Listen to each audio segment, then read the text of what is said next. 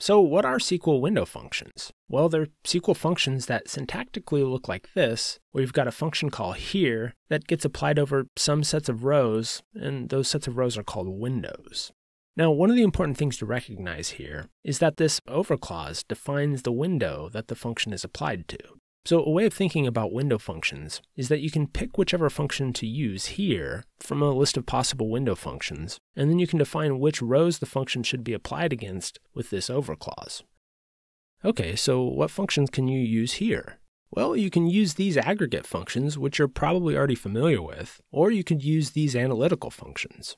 Now, there's a significant difference between using these aggregate functions the conventional way versus using them as window functions. For example, I've got this table which contains the results of runners in a 10K race. So let's say we'd like to figure out the average amount of time it took to finish the race. So to do this, I'll select the average time from the results table, and if we run this query, we see the result right here. Okay, now I want to show you how the average function works when it's used as a window function. So, to change our basic aggregate function call to be a window function, I'll simply add the clause over, followed by a set of parentheses. Now let's run this query and check that out. We don't get a single result like we did a moment ago. We get a bunch of rows with the exact same result. So this is the first big difference between normal aggregate functions and window aggregate functions. Normal aggregate functions will take many rows and aggregate them into fewer rows. So for example, this SQL statement only returns one row with the result, but the window aggregate function returned a result on every single row in our query. In fact, what's going on here will probably make more sense if I add an asterisk to the select clause.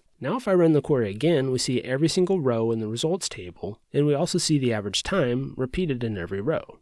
Now, this part of the window function here, this over clause, can be modified to manipulate the windows or sets of rows that this function is applied to. So for example, with an empty over clause like this, the window that the average function is applied to would be every single time value returned by our query, but by passing some additional information into the over clause, we can change from one big window to potentially multiple smaller windows. For example, if the over clause includes the phrase partition by age group, then we'll be essentially creating a window or grouping of rows for each age group, and the average function will only be applied to the time values within each age group window. Let's run this query, and if we keep an eye on the average column, you'll notice the value changes for each age group, and again, this is because of what you see here in the over clause.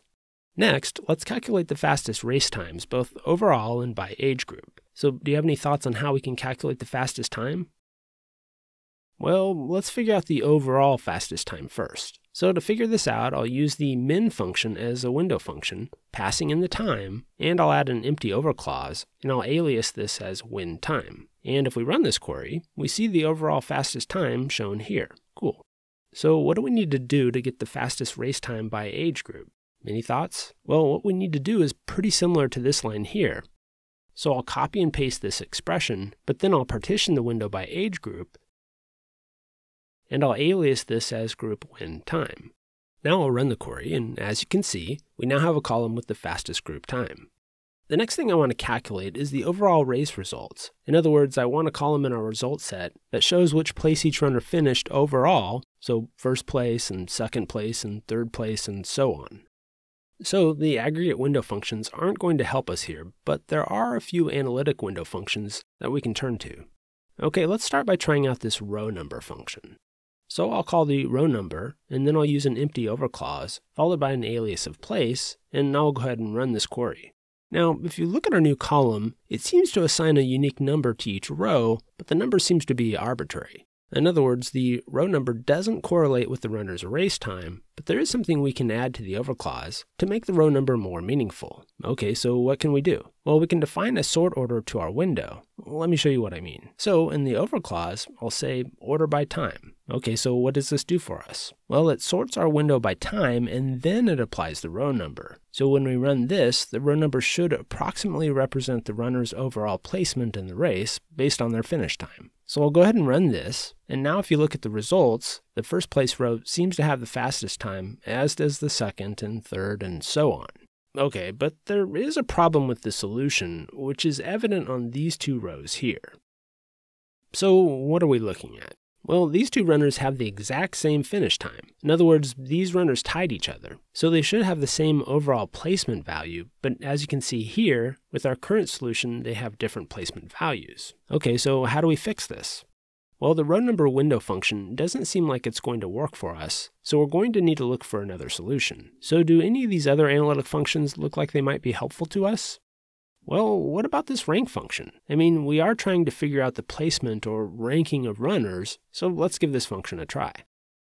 So first I'll change the alias of the row number to rn, then I'll call our rank function, followed by the over clause. But let me ask you this, do you think we need to add anything to this over clause? Well, yeah, we're going to need to add something here to order the window so that the rank function knows how to rank the results. So I'll say order by time, and then I'll run the query.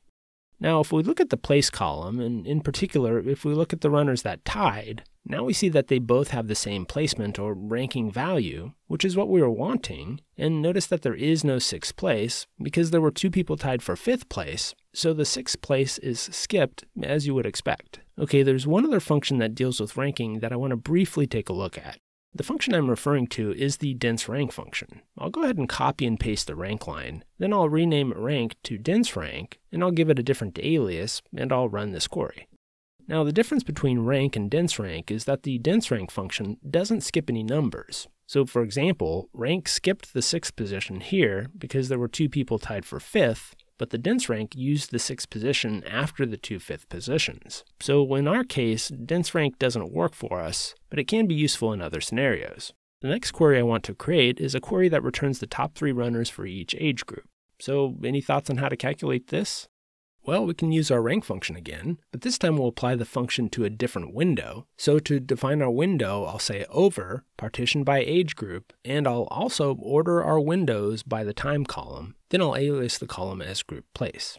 Now I'll run the query, and as you can see here, we now have an overall ranking, and we have group-specific rankings. Now to get the top three runners from each group, I'll use a simple subquery. So I'll select star from our subquery, which I'll wrap in parentheses, then I'll give it an alias of a, and I'll say that the a.group place is less than 4. Now if we run this query, we get the top three runners from each age group. Cool. So in summary, window functions can give you a nice, terse, readable way of doing analysis in SQL. Now one final thing. In this video I used the excellent relational database SQLite, but the concepts we're covering apply to all the popular relational databases. Hey, here at Mycelial, we're big fans of SQLite, and we're building tools around SQLite that will allow you to synchronize a SQLite database to multiple computers without conflict. If you're interested in SQLite and what we're doing with it, please subscribe to our channel and consider joining our newsletter to learn more.